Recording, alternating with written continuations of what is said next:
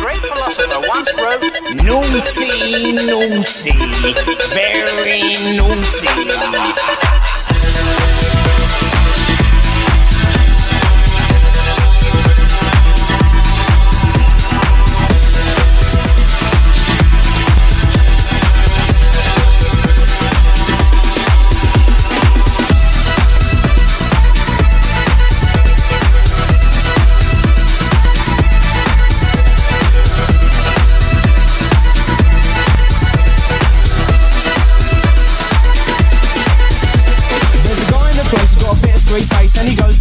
The name Ebeneezer Goode. His friends call him Easer and he is the main geezer and he vibe up the place like no other man could. He's refined, he's sublime, he makes you feel fine. They're very much maligned and misunderstood. But if you know Easer, he's a real crowd pleaser. He's ever so good, he's Ebeneezer Goode. You see that he's mischievous, mysterious and devious. When he circulates amongst the people in the place, once you know he's fun and something of a genius, he gives a grin that goes around face to face to face. Backwards and then forwards, forwards and then backwards. Easer is a